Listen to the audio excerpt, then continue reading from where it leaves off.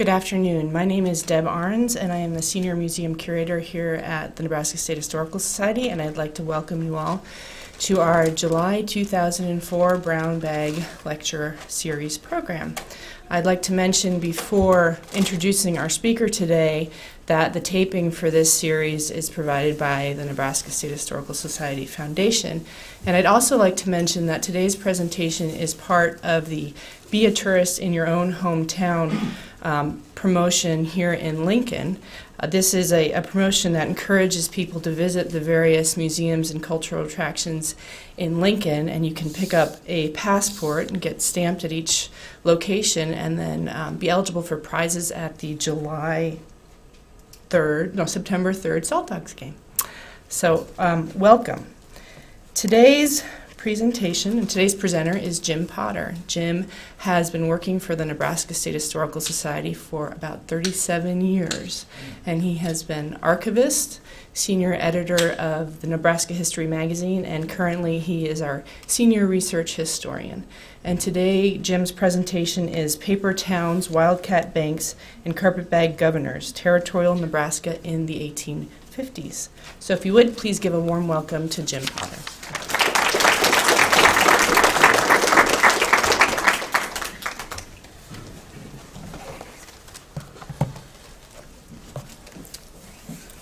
Thank you very much, Deb, for that generous introduction. As you all know, this year marks the 150th anniversary of the act that created the territories of Nebraska and Kansas. In popular terminology, the Kansas Nebraska Act. When it was signed into law by President Franklin Pierce on May 30, 1854, the act established Nebraska as a political entity and initiated its nearly 13 year experience as a U.S. territory. I suspect, however, that the annual observance of Statehood Day has fixed March 1, 1867, in many Nebraskans' minds as the genesis date in our history. What happened here between 1854 and 1867 should not be overlooked because the territorial years molded and refined the state of Nebraska to be, along with her leaders, people, economy, politics, and institutions. What's more, the history of those years is fascinating, filled with intriguing personalities, carpetbag politics, volatile journalism, and financial chicanery. Historian Roy Nichols termed the territorial system, quote, one of the most inspired inventions of the American political genius, End quote. After the American Revolution, Congress was faced with how to secure and develop new lands to the west of the original colonies. The plan Congress came up with under the Ordinance of 1787 provided the basic methodology for creating new states in the federal union, first by organizing them as territories. During the territorial period, despite ostensible control from Washington, the people would learn to govern themselves in what was essentially a grassroots operation. And once the necessary population had been achieved and the basic institutions of self government were in place, the people of a territory could draft a constitution and apply for statehood. 31 of the 50 states were once territories, and during most of our history, the process of transforming politically unorganized lands into territories and then into states went smoothly, at least by comparison with Nebraska and Kansas. By 1854, a series of complex moral, economic, social, and political factors on the national scene divided the nation over how or even if these territories should be organized. The most, most contentious issue was whether slavery would be allowed in the lands west of the Missouri River because the outcome of this decision threatened to upset the tenuous balance of power between North and South. According to Professor Nichols, the conflict that ensued over the organization of Nebraska and Kansas was, quote, the most spectacular act in the drama of territorial history. I'm not here today to discuss the political history of the Kansas Nebraska Act, which is a fascinating story in its own right. For that, there are many sources, including an article by Ross Drake in the May 2004 issue of Smithsonian entitled The Law That Ripped America in Two. Instead, today I want to review briefly how the territorial system worked during Nebraska's early years.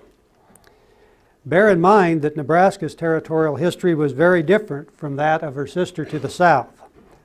Bleeding Kansas, as it came to be known, was racked by violence between free soil and pro slavery forces seeking control of the territorial government and thus the right, under the doctrine of popular sovereignty, to determine whether Kansas would be slave or free.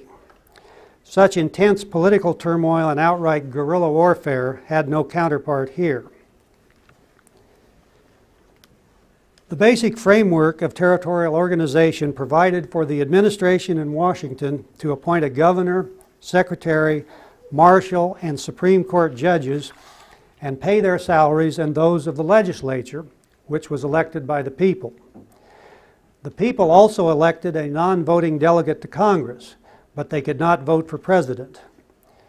Under the patronage system, the appointed officials were from the party in power, and during the early years of Nebraska Territory, all of them were Democrats. In fact, Nebraska did not have a two party system or formal party organizations until the late 1850s, when hostility to Democratic policies both nationally and in the territory sparked the rise of the new Republican Party, which was dedicated to the abolition of slavery. Because true political partisanship was lacking during the first years of Nebraska Territory, most issues involved sectionalism and personality, heavily tinged with the quest for power and money. Among other issues, Nebraskans contended over the location of the territorial capital for the seats in the legislature and for territorial delegate. Individuals and special interest groups often sought to use the mechanisms of government to help them profit through speculation in real estate, the granting of special charters for ferries and colleges, and the creation of cities, many of which existed only on paper. These features of territorial politics also underpinned the economy. Only later did agriculture, overland freighting, and other more dependable pursuits replace political self aggrandizement and speculation as the basis for Nebraska development.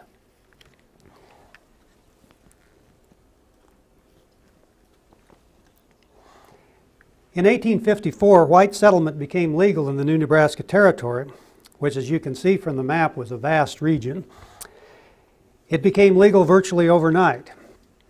Everyone who came here was an outsider, including the politicians the president chose for leadership positions.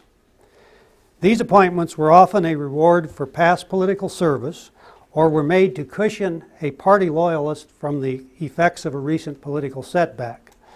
Most appointees saw them as opportunities to advance their political careers or enhance their economic status. The first governor of Nebraska Territory was a South Carolina Democrat named Francis Burt, a former newspaperman and lawyer, lawyer who had served in President Pierce's administration. He went to bed at Bellevue immediately upon his arrival in Nebraska and died two days after taking the oath of office. The arduous trip from South Carolina had literally killed him. Some thought he had planned to name Bellevue as the territorial capital. Burt's death opened the doors for another carpetbagger to make momentous decisions about Nebraska's future. He was Thomas B. Cumming, the 25 year old territorial secretary who hailed from Iowa and who was in league with Council Bluffs speculators poised to profit from the opening of Nebraska Territory. They particularly favored development directly across the Missouri River at the fledgling settlement of Omaha City, which had been laid out by the Omaha and Council Bluffs Ferry Company, of which Cumming was a member. As one of his first official acts, Cumming called the territorial legislature to meet at Omaha City, to the outrage of Bellevue residents who realized the territorial capital was likely to end up wherever the legislature was first gavelled into session. Moreover, Cumming ordered a census, and disregarding that more Nebraskans live south of the Platte River than north of it, apportioned the legislative districts to favor the North Platte section, Another way to ensure that the first legislature would, likely, would be likely to fix the capital at Omaha, which it did at its first session early in 1855. These decisions sparked a full blown sectional rivalry that would be the leading feature of territorial politics for the rest of the decade, with the great prize of the capital and perhaps the terminus of the future transcontinental railroad hanging in the balance. Contentious wrangling about relocating the capital somewhere, anywhere but Omaha, marked each of the first four sessions of the territorial legislature. According to an early Nebraska history, quote, Every other act of the legislature was subordinate and subsidiary to this one measure and motive of creating something for a commonwealth composed mostly of speculators and carpetbaggers. End quote. Close on the heels of territorial organization came the establishment of newspapers, primarily mouthpieces for the rival towns and sections, and regularly used to blast political or sectional adversaries in the most vituperative language. Since the South Platte section had lost the capital to Omaha, at least temporarily, its papers, such as the Nebraska Palladium at Bellevue and the Nebraska City News, continually hurled verbal bombshells against North Platte politicians and the newspapers that supported them. After the first legislature had voted Omaha as the territorial capital, the Palladium charged that the decision had been made, quote, against the wish of the great majority of the people located for the pecuniary and personal benefit of Tom Cumming and his brother bribers, located at a place without any natural advantages and one totally barren of anything save whiskey shops and drunken politicians. End quote. One of the most prolific, prolific writers on the political scene was the useful J. Sterling Morton. Only 23 when he came to Nebraska, and whose pen could skewer an opponent with exquisite sarcasm. For a time, Morton edited the Nebraska City paper and also wrote numerous resolutions, newspaper articles, and tracts calculated to keep the political pot boiling.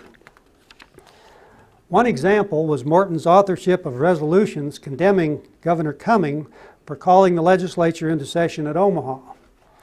The resolutions adopted at a convention of South Platte delegates in Nebraska City charged, quote, Acting Governor Cumming is neither an upright, honest, nor honorable man, that he is an unprincipled knave, and that he seeks rather to control than consult the people.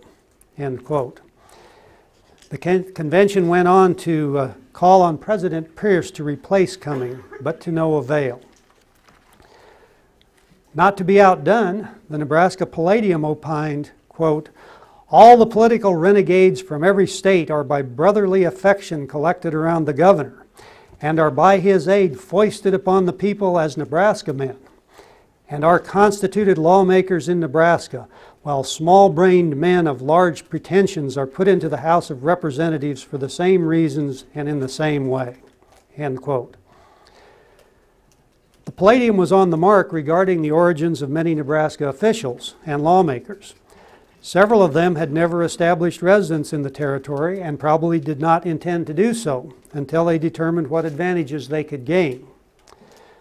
Many, quote, were mere sojourners, driftwood, temp- temporarily stranded on this farther shore of the westward stream of population, but destined soon to be caught by its constant onward flow and carried off to the boundless country beyond. End quote. The territorial legislature was a fractious body, everyone looking out for his own interests or those of his town or section, little influenced by the needs or opinions of the broader constituency, which in fact was hard to gauge. According to a Nebraska historian, quote, the first legislature worked under abnormal conditions and without the restrictions of organized society.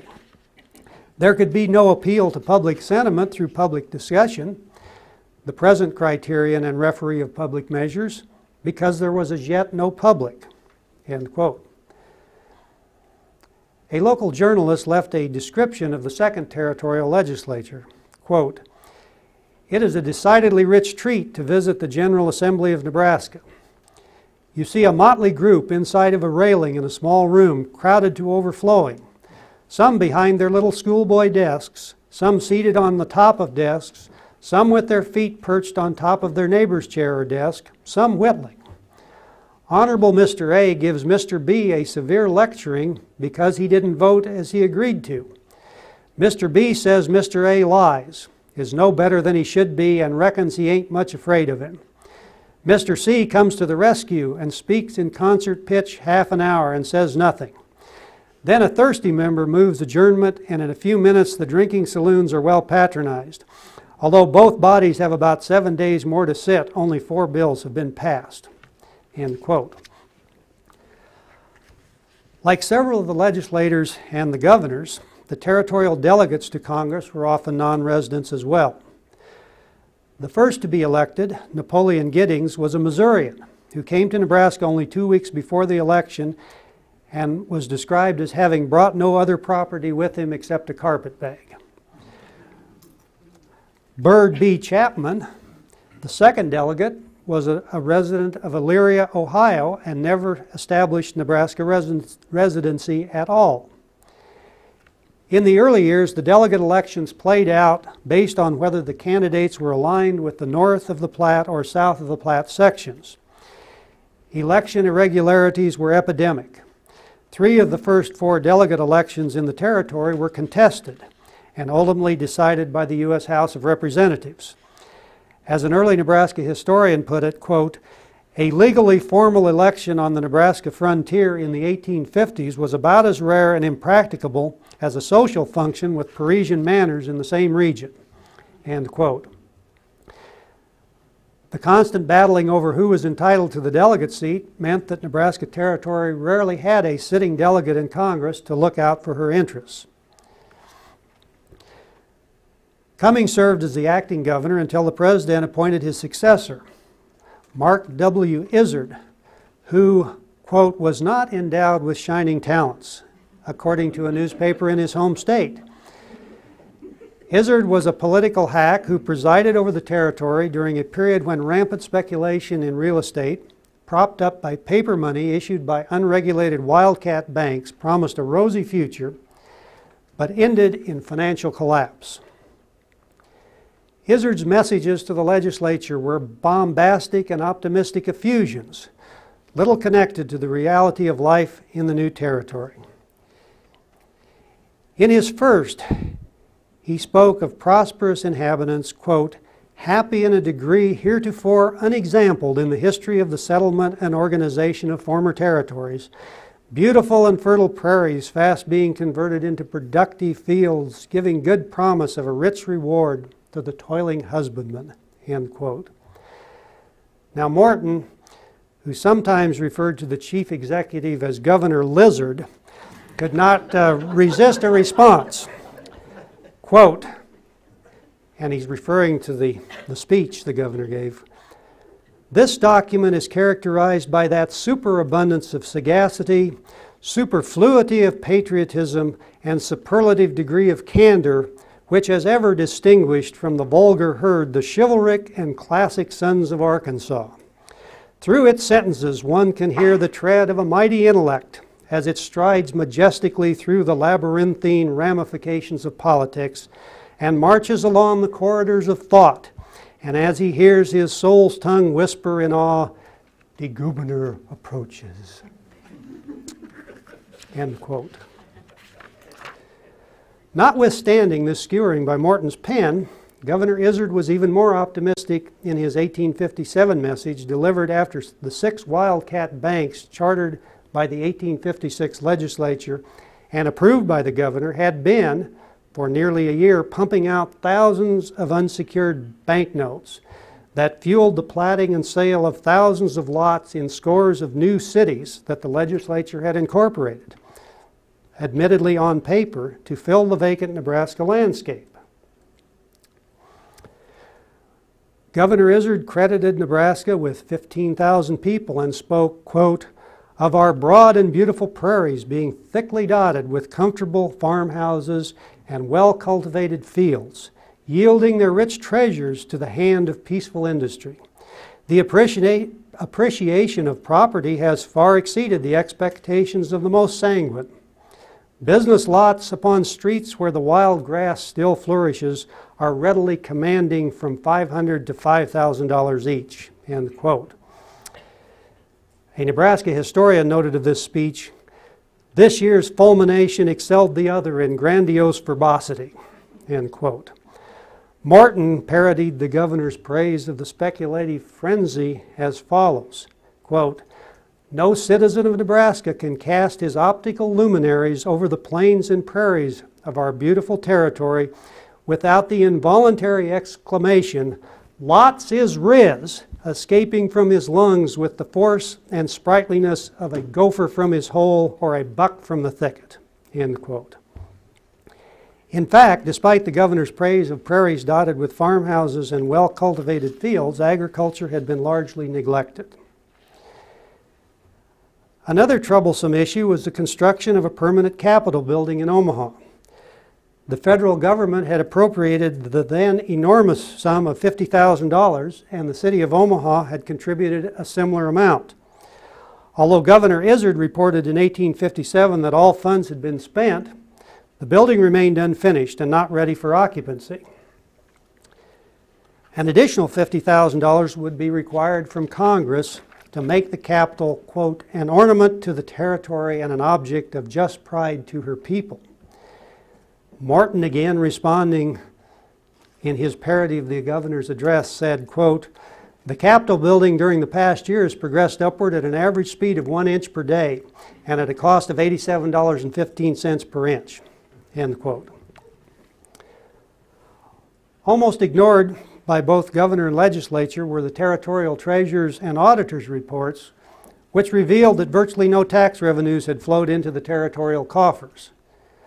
Although the federal government paid territorial officers and legislators' salaries and other major expenses, taxes were required to fund local government, schools, and public improvements. But in an economy based on speculation in unimproved real estate without any underlying productivity, few taxes could be collected. A major problem was the slow development of agriculture, which eventually promised to produce a surplus to reduce Nebraska's reliance on imported foodstuffs and merchandise. But as Morton later noted, quote, the greater portion of the summer of 1856 was consumed in talking and meditating upon the prospective value of city property. Young Chicago's, in Crescent, New York's, precocious Philadelphia's, and infant London's were duly staked out, lithographed, divided into shares, and puffed with becoming unction and complacence. The mere mention of using such valuable lands for the purpose of agriculture was considered an evidence of verdancy wholly unpardonable and entirely sufficient to convict a person of old fogyism in the first degree. End quote. The day of reckoning was soon to come when the failure of Eastern financial institutions precipitated the nationwide financial panic of 1857. Nebraska Territory's banking system collapsed along with the speculative bubble in real estate. After the collapse, an inventory of the assets of one of the so-called wildcat banks, the Bank of Tekamah, found, quote, a little shanty, 10 by 12, and its furniture consists of an old table and a stove. The whole institution was attached on last Saturday to secure $207, end quote. It turned out that the bank's indebtedness totaled nearly $100,000, quote, which is all, of course, in the hands of a people that have placed implicit confidence in the bank, end quote. The winter of 1857-58 was severe, and Nebraskans were mired in the depths of depression and poverty. Morton estimated that on January 1, 1858, there was not on average $2.50 in cash for every resident of the territory. Finally, the people realized, in Morton's words, quote, that the new way of making money by chartering wildcat banks had proved a most unprofitable delusion and an unmitigated humbug. We thought that building large cities without any inhabitants, therefore, was a singularly crack-brained species of enterprise. And furthermore, that everybody could not live in town who lived in the territory unless the towns were laid off in 80 acre or quarter section lots. End quote.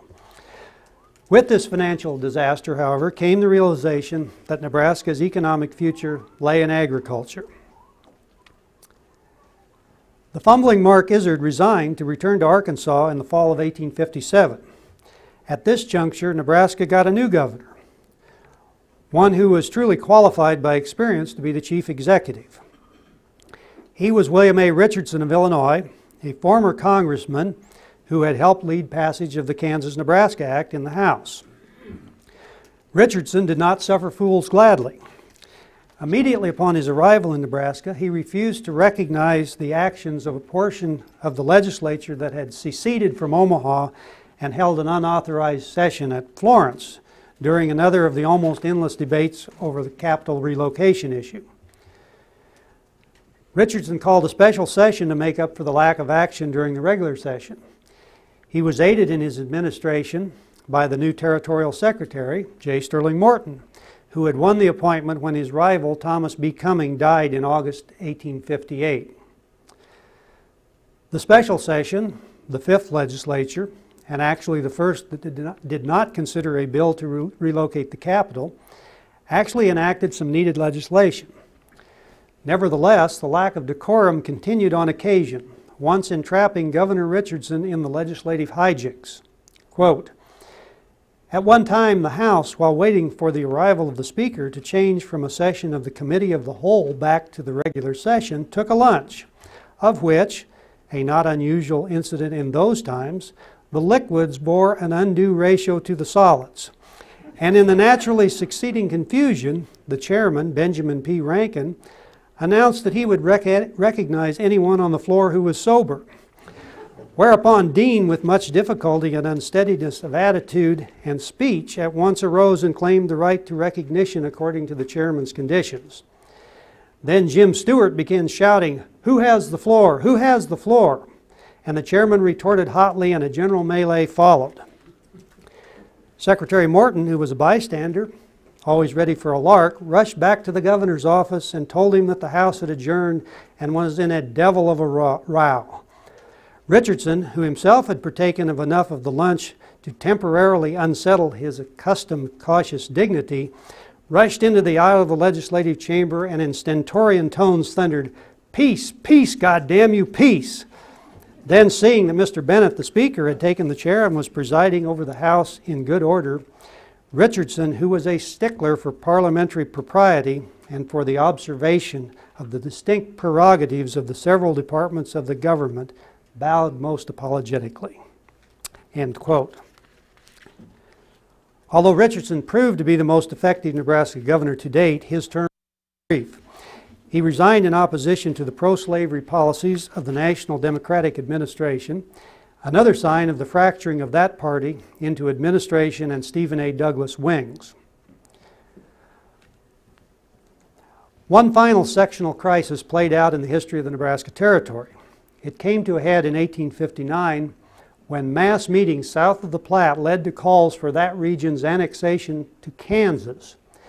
The latter territory was seemingly nearing statehood, and to the frustrated Nebraska South Platters, they saw annexation as a way to end once and for all the vexations they had suffered at the hands of Omaha and its adherents. Nebraska delegates to the Kansas Constitutional Convention made their case for annexation, which was rebuffed by a large majority.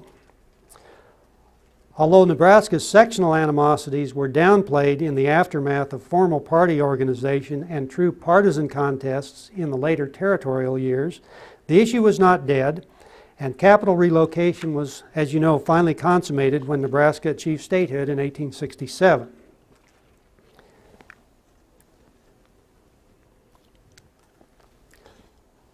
Although I've only scratched the surface, I hope this brief introduction may have whetted your appetite to learn more about the history of Nebraska between 1857, 1854 rather, and 1867.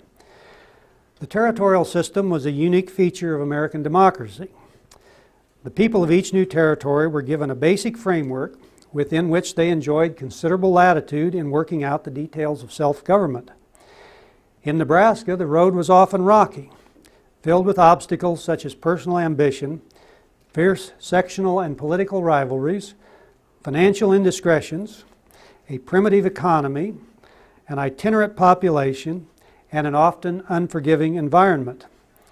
In the end, Nebraska's founding fathers, for women were then excluded from politics, as young and inexperienced as many of them were, in 13 years managed to prepare Nebraska to take her place as an equal partner in the federal union. In conclusion, I would just like to remind those of you who don't know that, or mention to those of you that don't know, that if you'd like to read more about various aspects of the history of Nebraska Territory, I happen to have authored a little article that appeared in the Winter Nebraska History issue, which is entitled Nebraska History on Nebraska Territory, a Reader's Guide. And this essay tries to summarize what I believe are some of the better articles on Nebraska Territory that have appeared over the last oh, 40 or 50 years in Nebraska History Magazine. So it's, uh, it's a way to get access to some of the articles in areas that you might be interested in. The other thing you might like to do if you haven't done so is to visit the headquarters building up at 15th and R to, to view the exhibit called Sowing Seeds for Statehood, Nebraska Territory 1854 to 1867, which has some of the same documents and uh, early photographs and, and, other interesting objects that relate to this period, some of which have never been on exhibit, and uh, the exhibit is in the rotunda at the headquarters building, so you can view it uh, every day that the building is open from 8 to 5, I believe. With that, uh, I would uh, conclude and be glad to try to answer any questions you might have. Yes, ma'am. Is that, um, the building in Omaha, is that still standing? No, it isn't. And in fact, the place where this building, and there was actually an earlier first territorial capital building, but the place where this building stood is now the site of Omaha Central High School. And, and the, build, the high school building is, of course, there on that hill. So it's called Capitol Hill. There's a state historical marker up there. So if you go by Omaha Central High School, you'll see where this Capitol building stood. I got the impression it was kind of like on a hill. Yeah. And there are early photographs of Omaha, which I didn't happen to have in here, that really show the Capitol on the outskirts of town, up on this hill looking, looking down on primitive Omaha. And, and so Izard, he died young too, didn't he? Well, he went back to Arkansas, and I think he did, in fact, die young, although I don't have much, much further information on him. There is a county in, uh, in Arkansas named after the family, and I'm not sure it's pronounced Izard or Ezard or what, but uh, I was in Arkansas about a month ago uh, looking around at some Nebraska related sites uh, in the Civil War period, and there is a county in, in uh, Arkansas named for this same family. I, I doubt, doubt it's the actual man that was governor of Nebraska. Jim, didn't we used to have a county? I think we did briefly during the territorial period. That was very common for early counties, which fluctuated both in location and size to, to, be named after some of these guys, and those, those names have disappeared from our political landscape currently. But I think Cynthia's right. There was at one time an Izard County, Nebraska. Probably good that we don't have it anymore. It's a little, little cumbersome to pronounce. And would you want to live in Izard County, Nebraska? Anything else? Lynn? I take that from your anecdote about the um, liquid refreshments that the legislature enjoyed over the noon hour, that there must not have been any territorial laws prohibiting public drunkenness. And I wonder if you could talk with us for just a minute about what kinds of laws were in fact in effect. You suggest that there wasn't a tax-based local government, so were there sheriffs, were there police, was it? Well, anything goes. Pretty much anything went, and of course it was up to the, actually up to the first territorial governor to do something to get some kind of basic infrastructure in place and that ended up being coming because Burt died so soon. But what I think the first legislature did was more or less adopt the uh, the civil and criminal code of Iowa, with the understanding that they would modify it, but they needed something in place. I don't know specifically about uh, a law on liquor. My my guess would be, if they had any, it was probably to encourage it rather than to prohibit it. Um, there were, of course, local officials, and it wasn't that there were no laws or no requirements for taxation. It's just nobody had any money. Plus, when in the primitive state of communications, the local officials uh, often, I guess, didn't even know they were supposed to collect taxes for this or that. So there were laws on the books that required certain kinds of property taxes and other taxes. It's just that they were so difficult to collect when the population was so sparse, flung all over the, the place, and it just was a very uh, a fluid situation. I suspect that some of those people that might have been in a place one day were, were in some other territory or gone back home to the States, as they said, another. So it just was hard. The census was obviously even suspect. They, they counted uh, 2,000 and some people when they took the first census in 1854. That's probably moderately accurate on that given day, but uh, a week later there might have been half that many or twice that many, and who knew?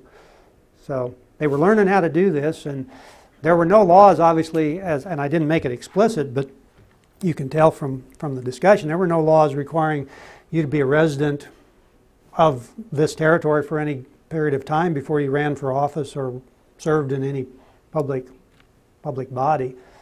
So uh, quite a different world. I've read about a picnic that took place on Capitol Hill. Um, this was after the passing of the Kansas-Nebraska Act. Iowa residents Mhm. came over toasting this newfound territory, and that that picnic was then broken up by the Omaha Indians. Is that, Well, is there truth to that? I don't recall that. Uh, I know the, I know there was a gathering, and I think the only part of it that I've actually heard, I've never really looked into it in detail, was that they did have at least a Fourth of July celebration there, and and uh, it is true that. Well, I should I should retreat from that and say that the Omaha actually had been summoned to Washington, Washington before the Kansas-Nebraska Act was passed to extinguish title to much of their Nebraska lands. So I can't tell you for sure one way or the other. I guess my, my supposition is it might not have been quite that, uh, that dramatic. Yes, ma'am. When did things start settling down and becoming more orderly? Well, I think about the time that Richardson was governor, uh, uh, after this financial panic had sort of gotten over with, Morton, uh, Morton I, talks about how it took a great shock to make people in Nebraska realize that there was no quick, get rich quick going to happen, and they had to be farmers and they had to till the soil and work hard. And then Governor Richardson, who was even though a short-lived governor was a practical man and he guided some, some legislation through, uh, I think they did start revising the criminal codes and some of those things. So I suppose certainly by the time other things came into play, like uh, overland freighting out of Nebraska City, that became a, a stimulus to the economy. By the late 18, 1850s and early 1860s, you started having more stability, both politically and economically. Course, the Civil War then came along, which sort of disrupted everything again to some extent. But war also brings economic growth most of the time, so I think uh, certainly some Nebraskans profited from, from the war. Um, it took a while, but uh, they eventually uh, worked it out, so, so they had enough stability, at least by the mid 1860s, they thought they were ready to become a state, or we, we did, we Nebraskans. By then, there were probably more people that could say they'd at least been here for a few months, if not a few years, whereas in 1854, the only people that had lived here very long were, were Indians and a few fur traders. Anything else? And how did, how did Burt, uh, coming from North Carolina, South Carolina. South Carolina, How did he get here? or why, yeah, I mean, why was he? Well, he was a How was he? He was chosen under the political spoil system. He was uh, had had done something for President Pierce, or he'd worked uh, in some capacity in the Pierce administration. And since these were all political appointees, the president, like presidents today do, uh, they have certain political offices they can pass around. And I, I guess Burt must have wanted to, to be governor of Nebraska, or, or thought he could make some money at it. So the president appointed him, but it took him so long to get out here. It was such a hard trip out here. No railroads. Maybe a, maybe some little railroad he could have ridden part of the way from, from South Carolina, but then it was mostly steamboat, wagon trips. He was sick when I got when he got to St. Louis, I believe, or yeah, I think St. Louis. He took took a little time off there. It just broke him down so bad to get up here. When he got here, he, he went right to bed and never got up. Well, it just seems like, you know, that, I mean, I'd be outraged if this person who never lived in the territory goes And see, in those days, right off the bat, you had nobody, nobody except maybe a few fur traders, no white people, that had ever lived here. So that is one of the complaints you see in this political rhetoric uh, in the newspapers. Is one one paper supporting one side is blame is calling for the dismissal of like Governor Cuming or other other officials because they're they have no Nebraska interest. They're only here for their own self-interest. Well, the papers on the other side of the Platte would say the same thing about the other group of politicians, and I think they all were kind of here because they saw something to be gained from it. And uh, it took a while before people started feeling true ownership of, of, of Nebraska. To be a Nebraskan meant something besides just the political or economic benefit they could gain. I think that would be true probably of, of all new territories, or many of them, although probably not, not as many, not all of them were, were sort of one day vast, unsettled Indian territory, as they called it. The next day it's open to settlement. And of course, uh, when you have a territory as large as Nebraska was, I don't think anybody even had any pretensions of, of governing anybody that lived beyond, you know, 10 miles from the Missouri River, and there weren't many that did. So there was no way that there was any administrative authority over the part of Nebraska territory that was today's Montana. Again, there were no really no white folks up there except a few fur traders, so they probably didn't even know it had become a territory. So Did Richardson stay in Nebraska then after he resigned? he didn't. He went back to uh, to Illinois, I believe, and actually trying to remember if he ran for Congress again. A lot of these guys didn't. There were there are a few. I mean, obviously J. Sterling Morton is one of these. He's now considered one of Nebraska's sort of founding fathers. He stayed in Nebraska. There were quite a few that did, but a lot of them, uh, minute they either lost their appointment or um, decided they weren't going to make their fortune here, they left. Uh, about the only, the largest group of these early territorial fi- officials that stayed in Nebraska were the ones who died here during the period they were officials, so they didn't have any way to get home. Burt, though, he, uh, Francis Burt didn't stay here. He made a, he made a round trip, uh, one, one trip on the way out here when he was still alive, and the second going back to South Carolina in a coffin full of alcohol, I suppose. And he's buried in, we know where his grave is. One of my, uh, my colleagues, uh, who used to be a colleague here, went down there quite a few years ago and took a picture of his, his uh, marker in this little uh, cemetery at Pendleton, South Carolina. And I don't know that they have anything there that tells that he once was governor of Nebraska for two days. The other interesting little sidelight, and then I'll quit because I never like to last till, till 1 o'clock. He wasn't the first choice to be the first governor of Nebraska. The first governor of Nebraska who didn't take the job, or the first person asked to take the job, was a, a military officer from Kentucky, or a former military officer named William Orlando Butler. He turned down uh, President Pierce's request for him to be governor of Nebraska, but somehow the word had gotten out, or, or because he was a war hero or something in the, I suppose, Mexican War. We do have a county named after him. Butler County is named after this Butler, although many people who aren't from Butler County probably think it's named after the first state governor, David Butler. But that county was named long before David Butler came on the scene, so it's actually named for this non governor who never came to Nebraska. So- Anything? Yes, ma'am.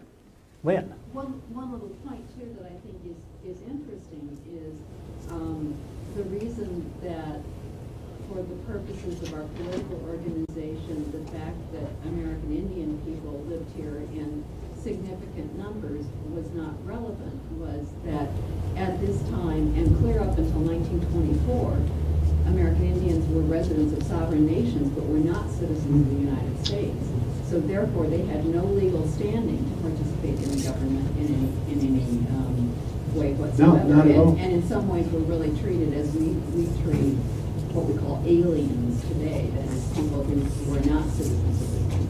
Well, and, and Lynn is exactly right that up to a point, I, I don't know, it was late 1870s or about then, did, did the, the U.S. government stopped treating native tribes as foreign governments, and they, they abandoned the treaty system at that point. But up to that period, they at least gave lip service to the fact that they were negotiating with, with sovereign nations. That's why they called them treaties. So most of the, the Indians that lived here, except of course the Omahas and the Pawnees and some of them on the, the eastern edge of the territory, most of the, the western tribes, it probably took them a while to even figure out that there'd been any, any change. I mean, they'd already seen the army and stuff. They'd already seen the immigrants going across the trail, so it wasn't like they had never been touched by, by the white hordes. But as far as the political change, I'm sure that if they understood what it meant, uh, few of them heard, had heard about it. So, I thought they were still called nations. well, they, as I say, they, they, they, they continued to negotiate on that basis until I think sometime in the 1880s, and then they, the Congress stopped concluding treaties, so they, they stopped considering them quite in the same sovereign way as they had before, and the government more or less said, from now on, we're going to dictate rather than negotiate. So I'm not, I'm not an expert on that, but I think that's the way it was. You know, Lynn? You just had a session and we talked about stuff, but I don't know if that ever came up at Fort Rob. Well, tribal sovereignty con- continues to be a significant legal issue, and today are still sovereign entities. There was some Supreme Court decision that, that tortured, produced some sort of tortured language that, that made it sound like they were a little bit sovereign, but still subject to the control of the federal government, and I, I don't remember what the exact term, internal dependent nations or something like that. So that's a whole other subject that we could spend many, many hours on. Anything else? Well, thank you very much for your attention. Oh, I'm sorry. We'll get it, we'll get it. Were there any settlements like north of Omaha, Florence, Tekamah, on the Missouri River at the time Nebraska became a territory in eighteen fifty-four?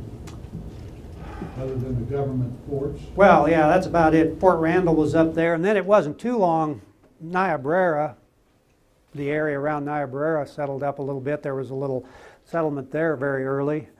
Um, But no, I think beyond, beyond the, uh, the federal forts you mentioned, Fort Randall, and, and of course there were forts on up the river. Fort Union was a fur trading post up in today's Montana that was going at the time, but uh, those little towns all came along pretty much right after 1854.